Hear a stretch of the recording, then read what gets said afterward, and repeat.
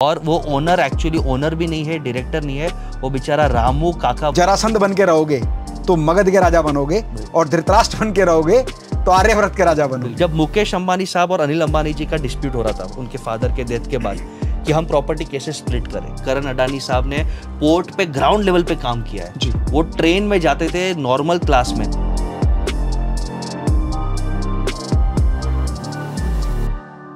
दोस्तों, नमस्कार, मेरा नाम है डॉक्टर अमित माहेश्वरी और लेजेंड्स ऑफ़ नेशन के इस प्रोग्राम में मैं आप सभी का बहुत बहुत स्वागत करता हूँ। और आप लोग जानते हैं कि हर बार अपने इस प्रोग्राम में हम ऐसी सेलिब्रिटी को बुलाते हैं जिन्होंने अपनी लाइफ में कोई बहुत बड़ी अचीवमेंट हासिल की है।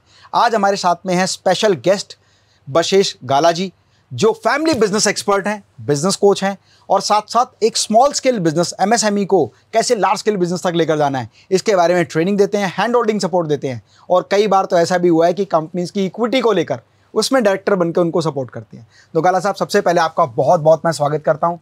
और मैं कामना करता हूँ कि हम हमारी ऑडियंस के लिए ऐसे विशेष विषय को लेकर आए हैं कि जो विषय उनके जीवन के लिए उनके बिज़नेस के लिए बहुत लाभकारी सिद्ध होगा। तो गाला साहब सबसे पहले मैं जो आपसे क्वेश्चन पूछना चाहता हूँ ना वो उन लोगों के लिए पूछना चाहता हूँ जो एक स्टार्टअप है मतलब अपनी लाइफ में अभी उन्होंने क्वालिफिकेशन कंप्लीट की है ग्रेजुएशन कंप्लीट किया है। अब वो एक स्टार्टअप करना चाहते हैं बिज़नेस का तो सबसे पहली जो बेसिक प्रॉब्लम उनके सामने होती है कि पहला फंड कैसे लेकर आए पहले फंड कलेक्शन कैसे करें कि हम बिज़नेस का सेटअप कर लें। इसके बारे में थोड़ी सी गाइडलाइंस आप ज़रूर दें। Sure sure. मैं हमेशा मानता हूँ your first funding round is from three Fs okay friend family and fans कोई कोई लोग फूल्स भी कहते हैं बट मैं उन्हें फैंस कहता हूँ। और आपकी लाइफ की जर्नी अगर आप एथिकल रहे हो। आपके अंदर एक स्पार्क रहा है भले आपने जॉब किया आप स्टूडेंट थे तो आपके टीचर्स है तो अगर उनको आपके ऊपर भरोसा है कि नहीं ये लड़का ये लड़की कुछ लाइफ में अच्छा करेगा इसके एथिक्स इसका एटीट्यूड अच्छा है they become your supporters great अगर आपके फ्रेंड्स फैमिली और आपके जीवन में जुड़े हुए जो लोग थे वही आपको सपोर्ट नहीं करेंगे तो आउटसाइडर्स आउटसाइडर कैसे करेगा? तो इसका मतलब अगर आपको कोई भी बिज़नेस शुरू करना है कोई स्टार्टअप शुरू करना है किसी कोई सर्विस इंडस्ट्री शुरू करनी है तो सबसे पहले फ्रेंड्स फैमिली एंड रिलेटिव से कांटेक्ट करें कि भाई मैं ये बिज़नेस करना चाहता हूँ मेरा ये प्रपोज प्लान है ये इन्वेस्टमेंट आएगा ये प्रॉफिट होने की संभावना है इतनी ग्रोथ की संभावना है यही सब बातें ना। जर्नल टर्म्स पे बात करना शुरू करेंगे कि भाई इतना पैसा चाहिए। तो मैं विश्वास दिलाता हूँ कि बहुत सारे लोग आपको ऐसे मिलेंगे जो आपके उस प्रोजेक्ट प्लान पर पैसा लगाने के लिए तैयार हो जाएँगे। तो सर ये तो बात रही कि जब हम बिज़नेस का शुभारंभ करना चाहते हैं तो फ्रेंड्स फैमिली और रिलेटिव को हमने कांटेक्ट किया। इसमें एक सॉरी मैं एक पॉइंट ऐड करूँगा। आज के समय में एक बहुत डिस्टिंक्ट हो गया तीन साल पहले कि फंडिंग के नाम के लिए लोग बिज़नेस कर रहे थे। जी। तो इट इज़ वेरी इंपॉर्टेंट एक मैसेज में देना चाहूँगा कि आपका इंटेंट आपका पर्पस और विजन क्या है। कुछ स्टार्टअप्स बड़े बड़े नाम हमने देखे जिनका इंटेंट ये था कि चलो जितना फंड उठा सके और बर्न कर सके ब्रांड बना सके खुद घर पे पैसे लेके जाए जी। तो वो इंटेंट सस्टेन नहीं करेगा। आपका अगर इंटेंट है कि एक वर्ल्ड क्लास प्रोडक्ट बनाना किसी का तकलीफ़ सॉल्व करना या एक्सीलेंस डिलीवर करना कोई एक गैप आ रहा है हम इस पर डिस्कस करेंगे और वो इंटेंट अच्छा है तो मैं आपको अश्योर करता हूँ funds are very easily available today. मैं तो सर कई बार अपने वर्कशॉप में भी कहता हूँ कि ब्रांड दो तरह से बन कर बनता है। या तो बर्न करके या अर्न करके। अगर आप बर्न करके बना रहे हैं ना तो आपके इन्वेस्टर कभी भी आपके इससे हाथ खींच सकते हैं। लेकिन आप अर्न करके बना रहे हैं तो वो आपको हमेशा नेक्स्ट लेवल ले जा सकते हैं। तो ध्यान रखिएगा दोस्तों सर ने बहुत अच्छी बात कही है कि आपका पर्पज़ क्या होना चाहिए या तो बर्न करके या अर्न करके। अगर बर्न करके है तो आप कभी भी लॉन्ग टाइम में सस्टेन नहीं कर पाएँगे। अर्न करके है तो आपके आने वाले फर्दर इन्वेस्टर भी। आपके ऊपर पैसा लगाने के लिए तैयार होंगे। क्योंकि फ्रेंड्स फैमिली और रिलेटिव के बाद जो नेक्स्ट लेवल है वो उनके रेफरेंसेज हैं। और जब वो आपको पॉजिटिव अप्रोच देंगे कि यार इस बंदे पर मैंने पैसा लगाया और रिटर्न आया आप भी पैसा लगाओ तो आपको नेक्स्ट लेवल फंडिंग मिलना शुरू हो जाएगी ट्रेडिशनल तरीके से। है ना? मैं स्टार्टअप फंडिंग इवेंट्स की बात नहीं कर रहा हूँ वो भी आजकल एक बिज़नेस बन चुका है। सर दूसरा जो मेरा प्रश्न है सपोज़ हमने फ्रेंड फैमिली रिलेटिव से कुछ फंड हमने ले भी लिया बिज़नेस का सेटअप भी कर लिया प्रॉफिटेबल भी हो गया अब कई बार क्या होता है एक स्मॉल स्केल बिज़नेस ओनर बन गया हुआ स्टार्टअप से एक बिज़नेस ओनर बन गया। वो कहीं ना कहीं उस बिज़नेस में ऐसा फंसा रहता है कि मैनेजमेंट मैनेजमेंट भी देख रहा है ऑपरेशंस भी देख रहा है सेल्स भी मार्केटिंग भी अकाउंट्स भी और उसके अलावा एक्सपेंशन भी। तो वो कैसे ऐसे स्टेप्स अपनाए कि वो अपने बिज़नेस से थोड़ा फ्री हो जाए और एक्सपेंशन की ओर ध्यान दे उसके लिए उसको क्या करना चाहिए? बिल्कुल। मैं एक एग्ज़ाम्पल दूँगा। दो देवता पुरुष है जिन्हें हम भगवान कहते हैं। एक है राम भगवान एक है कृष्ण भगवान। जी। और ये एग्ज़ाम्पल हमें इंसाइट इसलिए देगा राम भगवान के पास स्ट्रॉन्ग आर्मी नहीं था जी। वो ज़्यादा एस्टैब्लिश नहीं थे। तो जब वो युद्ध करने गए तो, तो उन्होंने सामने से लीड किया। Hmm. This is the phase जब आप बिज़नेस स्टार्ट करते हो। जी। जब आपके पास टीम नहीं है सिस्टम नहीं है मार्केट का ग्रिप नहीं है आपने प्रूफ ऑफ़ कंसेप्ट नहीं किया है। बट जिस दिन आपके पास एक ठीक ठाक टीम है अच्छा ब्रांड है उस दिन आपको बैक सीट लेना पड़ेगा कोई अर्जुन ढूंढना पड़ेगा जो युद्ध करे। तो कृष्ण भगवान जैसे बनना बहुत ज़रूरी है। सबसे बड़ा चैलेंज है कि पाँच साल सात साल में जब बिज़नेस एस्टेब्लिश होता है people do not take a back seat जब आप पावर और को नहीं दोगे और आप एक मेंटोर का रोल एक प्लानर का स्ट्रैटेजिस्ट का नेटवर्किंग का रोल नहीं अपनाओगे तो ग्रोथ नहीं होगा। तो इसे लिंक करते हुए यही एडवाइस है कि when your business is set आपका। प्रूफ ऑफ़ कंसेप्ट है then a different skill set, एक अलग स्किल सेट रिक्वायर्ड है, वो अलग स्किल सेट के लिए आप अपने ऑपरेशन और मैनेजमेंट को स्ट्रॉन्ग करिए और खुद बैक सीट लीजिए in expansion strategy training and growth तब बिज़नेस बढ़ पाएगा, नहीं तो एक करोड़, पाँच करोड़ पे आके एकदम बिज़नेस खत्म हो जाएगा। जी, बहुत अच्छी बात आपने बताई, सर। मैं तो कई बार एक बात पूछता हूँ कि मैं जब पूछता हूँ ना बिज़नेस ओनर से कि भाई अब आप ग्रोथ कर रहे हैं इसकी क्या गारंटी है कैसे आप डिफाइन करेंगे? वो कहेंगे पहले मेरी एक प्रोपराइटरशिप फर्म थी सर सोल प्रोपराइटर था अब मैंने उसको प्राइवेट लिमिटेड कंपनी बना लिया। मैंने कहा वेरी गुड अब उस प्राइवेट लिमिटेड कंपनी में कौन डायरेक्टर है? उसने कहा जी मैं हूँ और मेरी वाइफ हम्म। मैं हूँ मेरा ब्रदर है या मैं और दो तीन भाई और एक दो दोस्त हैं। मैंने कहा अभी भी आपकी सोल प्रोपराइटरशिप ही है। बस आपने उसकी ओनरशिप का जो फार्मूला है वो बदल दिया। आपको पता है प्राइवेट लिमिटेड कंपनी में आपकी डेजिग्नेशन क्या है? कहता हाँ मुझे पता है मेरी डेजिग्नेशन है डायरेक्टर मैं डायरेक्टर का मतलब क्या होता है? निर्देशक। जब तक आप अपनी कंपनी में निर्देशन नहीं कर रहे हैं आप वर्किंग एम्प्लॉय की तरह काम कर रहे हैं तब तक आपकी ग्रोथ होने की कोई संभावना नहीं है। इसीलिए try to be like a director try to be like a भगवान श्री कृष्ण जैसे आपने अभी कहा। कि जब आप कृष्ण के रूप में निर्देश देंगे तो अर्जुन आपके लिए फाइट करेगा। और ना केवल अर्जुन बल्कि अर्जुन की पावर को देखते हुए पूरी की पूरी टीम बिल्ड हो जाएगी जो आपके लिए काम करना शुरू कर देगी। तो बहुत अच्छी बात आपने कही है सर।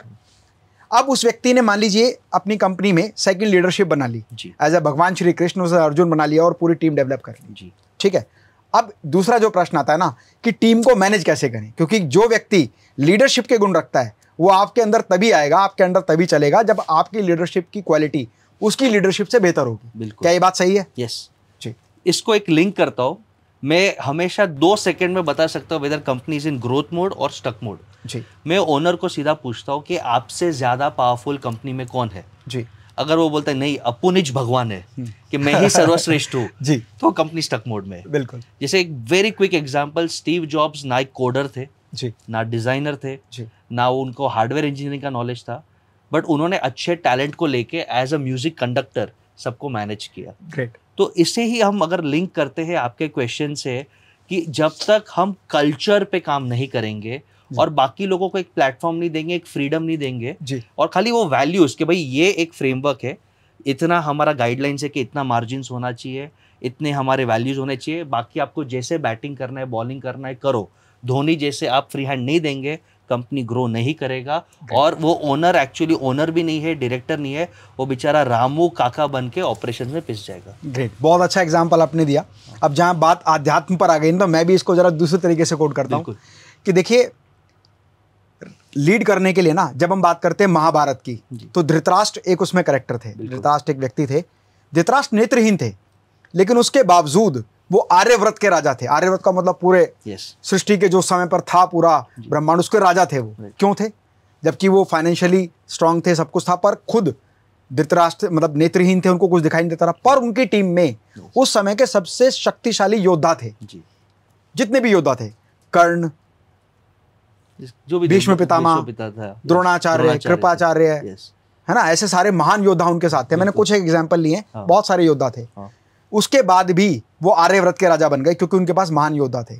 वहीं दूसरी ओर जरासंध जो मगध का राजा था जो इतना शक्तिशाली था कि धृतराज जैसे दस आदमियों को अकेला मार सकता था। हम्म। क्योंकि वो मरने वाला नहीं था. उसको ऐसे तोड़ के अलग करते रहे वापस जुड़ जाता था। हम्म, उसके बावजूद भी वो केवल मगध का राजा था क्योंकि अपनी टीम का सबसे शक्तिशाली व्यक्ति वही था। तो यही बात अभी आपने कही बिज़नेस पर लागू होती है कि अगर जरासंध बन के रहोगे तो मगध के राजा बनोगे और धृतराष्ट्र बन के रहोगे तो आर्यव्रत के राजा बनोगे। बिल्कुल। तो ये बहुत इंपॉर्टेंट बात है। ये मुझे इस बात से याद आ गई क्योंकि आपने भगवान श्री कृष्ण की बात की तो मुझे लगा यार महाभारत से संबंधित बात होनी चाहिए। कहते ना हमारे पुराने जो वेद मंत्र व्यास और जितनी भी हमारी आध्यात्मिक चीज़ें हैं ना उसमें सीखने के बहुत सारे गुण हैं। महाभारत रामायण फिर भगवत गीता इसमें बहुत कुछ सीखा जा सकता. है।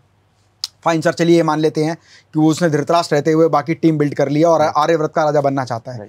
नेक्स्ट जो प्रॉब्लम जो आती है ना वो ये आती है कि भाई सब कुछ एस्टेब्लिश हो गया आर्यव्रत का राजा बनना चाहता है हम्म। अब उसको चाहिए ब्रांडिंग अब उसको चाहिए एक्सपेंशन उसको चाहिए नए लोगों का एसोसिएशन नए डायरेक्टर्स चाहिए नए इन्वेस्टर्स चाहिए एक्सपेंशन करने के लिए बैंक लोन चाहिए।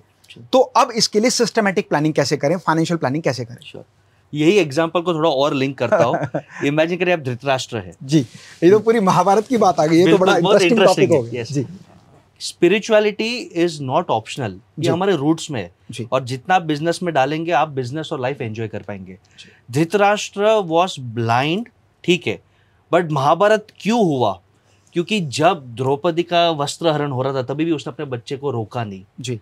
तो मैं इसके लिए बोल रहा हूँ कि आप इंटेंशनली ब्लाइंड मत रहिए फ़र्स्ट पॉइंट है। अगर आपने पावरफुल टीम रखा है it's important to also have powerful systems जी। क्योंकि कुछ कुछ लोग मैंने देखा कि सर हमने टीम हायर कर लिया उनको अच्छा पगार दे रहे फिर भी थोड़ा करप्शन हो रहा है इनएफिशिएंसी हो रहा है कंपनी वो डायरेक्शन में ग्रो नहीं हो रहा है क्योंकि टीम के साथ सिस्टम के होने बहुत ज़रूरी है। अपनी आँख खुली रखो regular audits checklist system meetings रखो। तो ये पहला चीज़ है कि तब आपका कल्चर ऑटो मोड में चलेगा। सेकेंड जैसे ऋषि मनी घूमते रहते हैं वैसे आपके कंपनी में कितने ऋषि मुनि है? जो। बाहर से आके आपको एडवाइस देते कि मार्केट में ये चल रहा है। दूसरे इंडस्ट्रीज़ में ये चल रहा है जिसको हम आज के टाइम पे हम मेंटोर्स या एडवाइजर्स के नाम देते हैं। हम्म। अब अगर आपने मेंटोर श्री कृष्णा जैसा ढूंढा जिसका विजन वैल्यूज़ नेक है तो आपको जीता देगा। अगर आपने मेंटोर शकुनी मामा जैसा ढूंढा तो, तो वो आपको आपको बर्बाद कर देगा। तो having the right mentor extremely important और वो मेंटोर के इतने कनेक्शंस होते हैं। वो मेंटोर का अगर विजन वैल्यू मैच हो गया तो वो आपके लिए हज़ारों दरवाजे खोल देते हैं। अब प्रश्न यहीं से मैं एक बार आपकी बात से ये प्रश्न पैदा होता है हाँ। कि सर आज के टाइम पर ना वैसे ये बात मुझे नहीं कहनी चाहिए क्योंकि मैं सेम इंडस्ट्री का पर्सन हूँ। आज के टाइम पर पूरे भारतवर्ष में बिज़नेस कोचेज की ना भरमार है। और 98 percent of the business coaches are not doing real business in their life अब एक पर्सन के सामने ना एक बहुत बड़ी दुविधा हो जाती है कि मैं राइट मेंटोर ढूंढूं कैसे? क्या गुण होने चाहिए एक राइट मेंटोर में? उसके अंदर क्या काबिलियत होनी चाहिए? क्योंकि मैक्सिमम लोग या तो गूगल से पढ़ रहे हैं केस स्टडीज़ उठा रहे हैं कोई बुक का कंटेंट उठा रहे हैं इधर उधर की कहानियाँ बता रहे हैं और वो मेंटोरशिप कर रहे हैं। उनसे पूछ लो ना फैक्ट्री मैनेजमेंट में अगर लेबर से कोई मशीन का कोई पार्ट टूट जाए इसको कैसे मैनेज करेंगे? वो कहेंगे उसकी सैलरी में से काट लेंगे। भाई साहब वो छोड़ के किसी दूसरी कंपनी में चला जाएगा। यूनियन स्ट्राइक हो जाएगी। यूनियन स्ट्राइक हो जाएगा। तो ग्राउंड लेवल की जो प्रॉब्लम्स हैं उनके सॉल्यूशन मेंटोर्स के पास नहीं है जिन्होंने थियोरेटिकली सब कुछ समझा है तो राइट मेंटोर कैसे ढूंढें? Yes. ये प्रश्न उन सभी लोगों के लिए भी है जो कहीं ना कहीं एज ए मेंटोरशिप के रूप में लोगों से लाखों रुपए चार्ज कर रहे हैं और उनकी भावनाओं को ठेस पहुँचा रहे हैं। बिल्कुल। और उनको लगता है कि यार सारे मेंटोर ऐसे हैं। राइट तो राइट मेंटोर कैसे ढूंढे सर एकदम इजी स्टेप है। आपके सामने दो मेंटोर्स पड़े कोई एक को चूज़ कर लो आपका कल्याण हो जाएगा। बट और डीप और डीप में जा रहे हैं। First thing is don't look at temporary success किसी के पास मर्सिडीज गाड़ी है लग्जरी ऑफ़िस है उसको देख के हम मोहित हो जाते हैं। आज का इंस्टाग्राम का जमाना है थर्टी सेकेंड्स का जमाना नहीं आप डीप में जाइए कि उसने अपने लाइफ में सॉरी मैं थोड़ा स्ट्रॉन्ग वर्ड यूज़ करूँगा क्या उखाड़ा है? हम्म। उसने आईपीओ निकाला है उसने कौन से बिज़नेस रन किए वो बहुत ज़रूरी है। सेकेंड मेरा सबसे इंपॉर्टेंट चेक है क्या वो hundred percent money back guarantee देने के लिए रेडी है? जी। अगर हाँ ये बहुत इंपॉर्टेंट वो फ़ीस अगर नहीं लेता तो क्या वो इक्विटी लेके पार्टनर लेके खून पसीना देने को रेडी है? रिज़ल्ट आए ना आए लेकिन वो प्रोसेस और उसको अगर अपने आप पे कॉन्फिडेंस है तो वो राइट मेंटोर है थर्ड उसके लाइफ में आप देखो उसके आजू बाजू वाले लोगों से पूछो कि इसका वैल्यू सिस्टम क्या है। अगर उसका वैल्यू सिस्टम विजन आपसे मैच होता है उसने खुद ने लाइफ में बिज़नेस किया है लोगों का आईपीओ निकाला है हेल्प किया है और थर्ड वो खुद पे इतना कॉन्फिडेंट है कि वो मनी बैक गारंटी देता है। या फिर बोलता है चलो मैं आज से आपका पार्टनर मुझे पैसे नहीं चाहिए मुझे आपके ग्रुप का हिस्से। चाहिए। यस क्योंकि मुझे पता है मैं इस कंपनी को नेक्स्ट लेवल लेके जाऊँगा तो उस इक्विटी का पार्टनर बनूँगा। और सस्टेनेबल बेसिस क्योंकि इक्विटी आपको एक साल में नहीं मिलेगा। आपको पाँच साल दस साल के बाद उसका वेल्थ एंजॉय करना पड़ेगा। तो जो mentors who walk the talk जिनका वैल्यू विजन अच्छा है they are the right mentors बाकी आर गुड मोटिवेशनल स्पीकर्स आप मोटिवेशन सुन लीजिए सेम डे चार्ज हो जाइए नेक्स्ट डे डिस्चार्ज होकर भूल जाइए। उनका रोल उतना तक ही ठीक है। ग्रेट अब सर जब बिज़नेस को नेक्स्ट लेवल ले जाते हैं ना तो कुछ लोग सोचते हैं कि भाई गवर्नमेंट सपोर्ट करने के लिए तैयार है पर गवर्नमेंट की सपोर्ट मिल नहीं रही है। जैसे हम एमएसएमई की बात करते हैं एनएसआईसी की बात करते हैं सिडबी की बात करते हैं तो वहाँ पर ना लोग उन गवर्नमेंट ऑर्गेनाइजेशन से जुड़ना चाहते हैं गवर्नमेंट भी चीज़ें देना चाहती हैं पर वो उसका बेनिफिट ले नहीं पाते किसी ना किसी इन्फॉर्मेशन के अभाव में। तो किस तरह से गवर्नमेंट के प्रोजेक्ट से जुड़कर उसको लाभान्वित किया जा सकता है बेनिफिट लिया जा सकता है या इक्विटी होल्डर्स बनाकर अपनी कंपनी में और डायरेक्टर्स इनवाइट करके उनको अपने विजन में साथ जोड़ के कैसे आगे बढ़ा जा सकता है। लोग चाहते हैं अपनी इक्विटी को डायलूट करना पर उनको ये पता ही नहीं है कि राइट सिस्टम क्या और किसको डायलूट करें। बिल्कुल। क्या वो पर्सन उसके बदले सिर्फ़ प्रॉफिट मांग रहा है या उसके साथ वो वर्किंग पार्टनर के रूप में भी आएगा? ये एक बहुत बड़ा प्रश्न है। तो इसके बारे में थोड़ा सा गाइड करें। साथ ही साथ मेरा अगला प्रश्न जो इसको कोरिलेट करेगा वो उन लोगों के लिए जो ट्रेडिशनल फैमिली बिज़नेस चला रहे हैं। ज़्यादातर क्या होता है व्यापार को सीखने के तीन ही तरीके हैं। माँ बाप का व्यापार है मतलब पैतृक बिज़नेस है? या उन्होंने किसी कॉम्पिटिटर को देखा एक इंडस्ट्री को देखा उसके बारे में बार बार से देखा समझा और वो बिज़नेस करना शुरू कर दिया।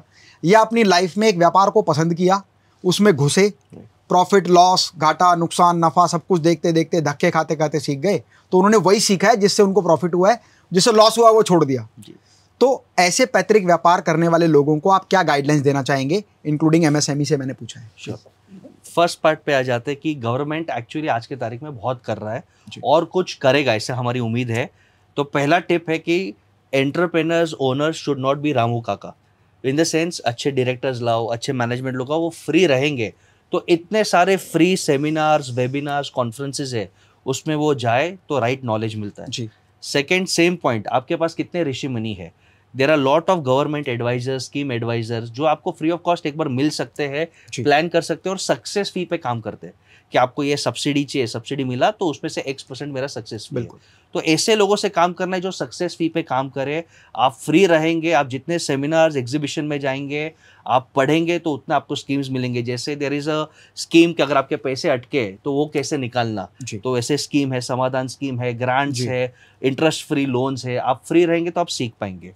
सेकेंड पार्ट आपका क्वेश्चन था कि बिजनेसेस अलग अलग टाइप के फैमिली बिज़नेस है जी। या कंपटीशन को मार्केट रिसर्च करके किया या खुद एक्सीडेंटल बन गए।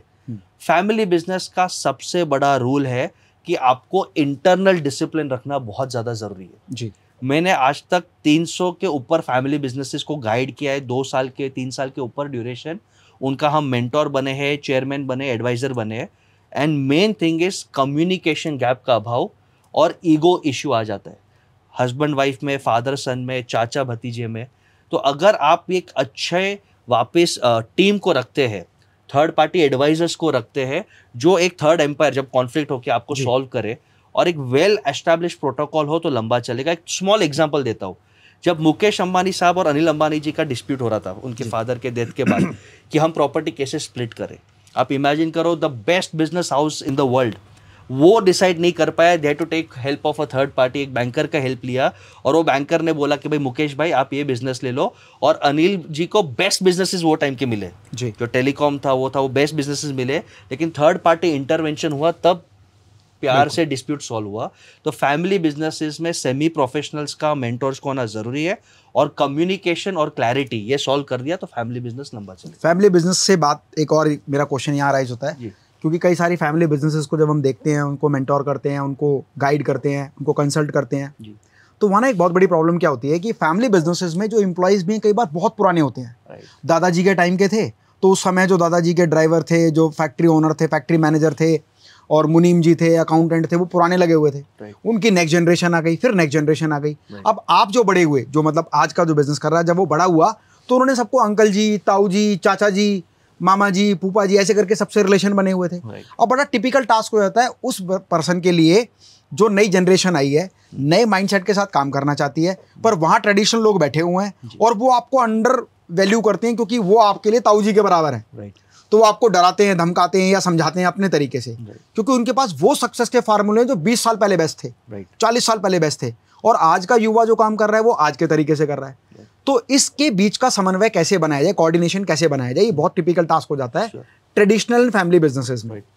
बहुत सिंपल सोल्यूशन है। फ़र्स्ट ओल्ड एम्प्लॉयज़ को लगता है कि दस साल पहले ये तो हमारे गोदी में खेल रहा था। हाँ। आज खुर्ची पे आ गया तो ये तो बच्चा है इसको क्या मालूम है? ठीक बात है। तो वो एक एटीट्यूड है इसलिए मैं हमेशा कहता हूँ कि डायरेक्ट खुर्ची नहीं देना चाहिए। Let them earn their respect and trust या तो पहले आप जो भी यंग जनरेशन आ रहा है आप बाहर काम करिए। या ग्राउंड लेवल पे काम करिए। जैसे आई नो कि करण अडानी साहब ने पोर्ट पे ग्राउंड लेवल पे काम किया है। जी। वो ट्रेन में जाते थे नॉर्मल क्लास में नॉट फ़र्स्ट क्लास में ट्रेन में जाते थे अपने पोर्ट्स पे जाते थे मैनेज किया और टीम का रिस्पेक्ट अर्न किया। और आज ऑफकोर्स वो एंटरप्राइज रन कर रहे हैं गौतम जी के बेटे। तो वैसे आप बाहर किधर काम करिए दो साल के लिए या तो अपने कंपनी में एक छोटा सा प्रोजेक्ट एक लीजिए। डिवीज़न बना लीजिए अलग Yes, से एक छोटा मेरा. डिवीज़न ये है कि मैं इस इस पर्टिकुलर प्रोडक्ट के लिए मैन्युफैक्चरिंग सेटअप मैं संभालता हूँ। Yes. इसको मैं ग्रो करता जाऊँगा और बाद में मेरी सक्सेस का फॉर्मूला पूरी कंपनी में इंप्लीमेंट करूँ एक छोटा सा केस स्टडी आपको देता हूँ थर्टी सेकेंड्स यही बहुत बड़ा कॉन्फ्लिक्ट हुआ था तो हमने उसको क्या बोला कि ये जो अनएक्सप्लोर्ड स्टेट है वेस्ट बंगाल जहाँ पे इनका सेल्स नहीं था आप ये स्टेट इनको दे दीजिए दो एम्प्लॉयज़ इनको दे दीजिए छह महीने का टाइम दीजिए if is successful give more state then more state दो साल में पूरा इंडिया का सेल्स टीम उनके अंडर आ गया। So you have to earn respect and trust जब तक आप अर्न नहीं करेंगे आप कमांड नहीं कर पाएँगे। ग्रेट दूसरा मेरा प्रश्न है सर जी। कि इसमें ना मतलब प्रश्न नहीं है मैं एक बात और कहना चाहता हूँ बीच में। इसमें ना मेंटोर्स का बड़ा इंपॉर्टेंट रोल भी आ जाता है कंसल्टेंट्स का। क्योंकि वो केवल आपकी ग्रोथ के बारे में बात नहीं कर रहे। आपकी जो ट्रेडिशनल फैमिली वहाँ पर है जो। कई जनरेशन से आए हुए लोग वहाँ पर हैं वो उनको भी गाइड करते हैं कि भाई आपका जो ओल्ड स्टाइल मेथड था ओल्ड स्कूल मेथड था हाँ। वो भी सक्सेसफुल है। पर आज नए ट्रेंड है आज नए तरीके से नया युवा नए तरीके से काम करेगा। आप दोनों को आपस में समन्वय बनाना है कोऑर्डिनेशन करना है। ये कई बार रोल हो जाता है किसी मेंटोर का किसी गाइड Sure. का कंसल्टेंट का। तो एक बहुत अच्छा आपने एक बात बताया सर। अगला जो मेरा प्रश्न है कि भाई बिज़नेस में फाइनेंस को कैसे मैनेज करें? क्योंकि कई बार क्या होता है कई बिज़नेस ऐसे हैं जहाँ पर रिवेन्यू मॉडल जो है वो मंथली ईयरली बेसिस पर है। हम्म, जैसे मान लीजिए कोई फ्लाईओवर का प्रोजेक्ट हम बना रहे हैं। हमें पता है दस साल का प्रोजेक्ट है। और हर साल हमें पैसा आना है या हर मान लीजिए नंबर ऑफ़ पिलर्स के बाद आना है। दस पिलर हो गए फिर इतना पेमेंट आएगा फिर बीस पिलर फिर ऊपर का ट्रैक तो उस हिसाब से पैसा आना है। हम्म, लेकिन हमारे मंथली ऑपरेटिंग एक्सपेंसेस हैं। यहाँ पर सबसे बड़ी प्रॉब्लम जो आती है ना वो फाइनेंशियल क्राइसिस की आती है कि इसको कैसे मैनेज किया जाए। और कई बार प्रॉफिटेबल बिज़नेस भी फाइनेंशियल क्राइसिस की वजह से डूब जाता है। Sure sure. इसके लिए क्या करना चाहिए? एक आप रिकॉर्ड देखेंगे जितने भी कंपनीज़ बैंक हुए वर्ल्ड वाइड लीमन ब्रदर्स बोल लो लॉन्ग टर्म कैपिटल मैनेजमेंट बोल लो या इंडिया में सत्यम बोल लो फ्रॉड तो था लेकिन cash flow crunch was the biggest reason liquidity crisis मेरा मानना है कि एक एजुकेशन सिस्टम में सेवन स्टैंडर्ड में फाइनेंशियल लिटरेसी एक कंपलसरी सब्जेक्ट होना चाहिए। जी। बच्चों को आइडिया नहीं बजट क्या है प्लानिंग क्या है इन्वेस्टमेंट क्या है। सेकंड जब मैं एंटरप्रेनर्स को बोलता हूँ कि सबसे इंपॉर्टेंट फाइनेंशियल नंबर क्या है तो कोई बोलता है प्रॉफिट कोई बोलता है सेल्स एक्चुअली गलत। सबसे इंपॉर्टेंट मेट्रिक है आपका cash flow cash flow free cash flow to the firm या जो आप कैश फ्लो बोलते हैं। अब जब एंटरप्रेनर कैश फ्लो बजट करेगा ये एक्टिविटी बहुत इंपॉर्टेंट है थोड़ा टेक्निकल है। आपको हर महीना बजट करना है कि मेरे इतने इन कैश आएँगे इतने आउट आएँगे। और कैश का मतलब this is the revenue I get this is the expenses I have to pay और उसमें आपके पास एटलीस्ट छह महीने का वर्किंग का बैकअप होना ही चाहिए। ये बेसिक्स पे आप काम नहीं करते तो लिक्विडिटी क्राइसिस के कारण आप मर जाते हैं। On the other hand there are lot of companies बहुत सारी कंपनीज़ एंटरप्रेनर्स है जिनके पास अच्छा लिक्विडिटी होता है। जब भी क्राइसिस आता है ना दे बिकम बिलियनर्स कैसे? जैसे लीमन ब्रदर्स जब बैंक हुआ, तब एक छोटा सा टाइनी बैंक नोमूरा बैंक था जापान का, उसने दो पाउंड दे के लीमन ब्रदर्स का पूरा इंफ्रास्ट्रक्चर टीम टेक्नोलॉजी खरीद लिया. क्यों? क्योंकि उसके पास कैश था, पैसे था कि मैं इसको सैलरी दे पाऊँगा, चला पाऊँगा. तो जब भी क्राइसिस आता है और अगर आपका कैश फ्लो मैनेजमेंट अच्छा है आप कंपनीज़ को एम्प्लॉयज़ को बहुत सारे commercial properties residential properties arts को सस्ते में एक्वायर कर सकते हो और इंस्टेंट मिलियनर बन सकते हो। बिल्कुल। मैं इसका एक और एग्ज़ाम्पल देता हूँ। कल्ट फिटनेस एक जिम का एक ब्रांड है। जी। अभी कल्ट फिटनेस के पूरे वर्ल्ड वाइड पंद्रह सौ पूरे इंडिया में अगर बोलूँ तो पंद्रह सौ ज़्यादा जिमनेजियम बन गए जी। लेकिन ऐसा कैसे संभव हो पाया? जब मैंने उसकी केस स्टडी को देखा तो मुझे समझ में आया कि कल्ट के अपने खुद के तो करीब चालीस पचास है बाकी अगर कोई भी जिम सर्वाइव नहीं कर पा रहा चल नहीं पा रहा वही फाइनेंशियल क्राइसिस की वजह से लिक्विडिटी क्राइसिस की वजह से तो कल्ट जिम उसको टेक ओवर कर लेता है। उनको इंफ्रास्ट्रक्चर को रिन्यू कर देता है पूरा उनका मॉडर्न कल्चर कर देता है एडमिशन की अश्योरेंस कर देता है प्लस एक लिक्विडिटी एंड फाइनेंसिंग कर देता है कि भाई इतने दिन तक हम चलाएँगे उसके बाद इतना प्रॉफिट शेयरिंग पर आपको दे देंगे। जी। इंडिया में भी ऐसा ही हुआ है जितना भी फ्लाईओवर कंस्ट्रक्शन चल रहा है या मेट्रो प्रोजेक्ट चल रहा है। जापान जैसी कंपनी है उन्होंने 20 साल के लिए इंफ्रास्ट्रक्चर में इन्वेस्ट किया। टोटल प्रॉफिट को जनरेट किए करेंगे 20 साल तक और बाद में वो हमें हैंड ओवर कर देंगे। तो फाइनेंशियल क्राइसिस से बचने के लिए लिक्विडिटी को मैनेज करना बड़ा इंपॉर्टेंट है। नेक्स्ट सर ये तो बात रही कि चलो तो इंटरनल प्रॉब्लम्स हैं जिसमें हम सब कुछ कर सकते हैं। एक प्रॉब्लम एक स्मॉल स्केल बिज़नेस ओनर के सामने बहुत ज़्यादा आती है और वो प्रॉब्लम ये है कि उनका जो पैसा है ना वो डूब जाता है व्यापार में। क्या? कि भाई लग रहा था यार प्रॉफिट बहुत अच्छा है मेरा बायर भी बहुत अच्छा है मटेरियल रेगुलर जा रहा है पेमेंट रेगुलर आ रही है पर पेमेंट आने का फ्लो और मटेरियल जाने का फ्लो का जो रेशियो है ना वो डिफरेंट है। माल ज़्यादा जा रहा है पैसा कम आ रहा है और ज़्यादा जा रहा है और कम आ रहा है। धीरे धीरे करके वो देखता है यार मेरा तो डेट इतना हो गया. और एक दिन पता लगता है वो कंपनी गोल हो गई या लॉकडाउन आया वो कंपनी वाइंड अप हो गई. तो उसका जितना प्रॉफिट हो सकता था एक्सपेक्टेड Sure. वो सारा लॉस में कन्वर्ट हो गया। तो इसको कैसे मैनेज किया जाए ये थोड़ा सा ज़रूर Yes. दो बहुत सिंपल टिप्स है। टिप नंबर वन कोई भी कंपनी में कैसे आदमी को रखो जो कंपनी का विलन हो। इन द सेंस विलन के रिस्क मैनेज करे। जो। ऑब्जेक्शन उठाए। हम्म। जैसे इसराइल में एक बारह जन का कमिटी एक एग्ज़ाम्पल देता हूँ।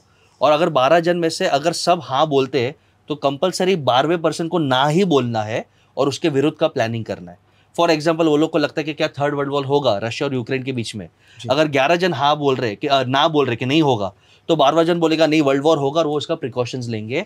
तो आपके कंपनी में रिस्क मैनेजमेंट यूजुअली एंटरप्रेनर्स की वाइफ होती है या फाइनेंस डिपार्टमेंट होता है वो करना चाहिए। सेकंड मेजर कंपनीज़ में जब सिस्टम्स नहीं होता तब ये क्राइसिस आता है। जी। अगर आपके पास सिस्टम्स है कि क्रेडिट लिमिट दिया है जी में दैट्स द मोस्ट इंपॉर्टेंट ये मैं सुनना चाह रहा था Yes, आपसे yes. क्योंकि हमारी कंपनी में भी क्या होता है? मैं बीच में आपकी बात रोक रहा हूँ. क्योंकि जब हम बिज़नेस करते हैं ना तो हमारे जो बायर्स हैं उनसे इतना अच्छा ट्रस्ट बिल्ड हो जाता है क्योंकि वो कई कई साल से काम कर रहे हैं। Sure.